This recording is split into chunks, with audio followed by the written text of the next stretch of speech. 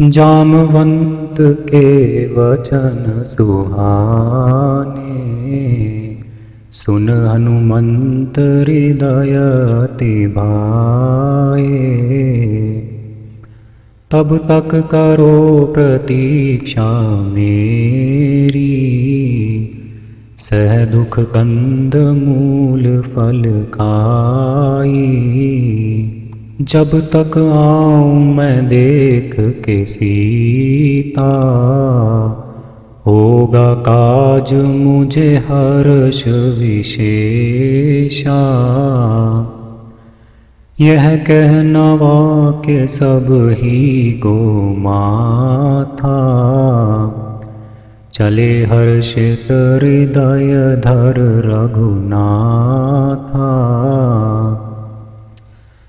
समुद्र तट एक पर्वत सुंदर।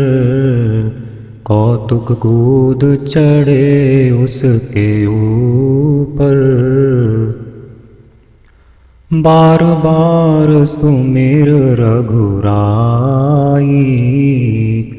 उछले पवन तनय बल भारी जिस पर्वत चरण रखे हनुमंता चलते ही वो गया पाताल तुरंता। जैसे अमोघ रघुपति का बाणा उसी भांति चले हनुमाना सागर रघुपति दूत विचारा कहा मैं नाक से हो श्रम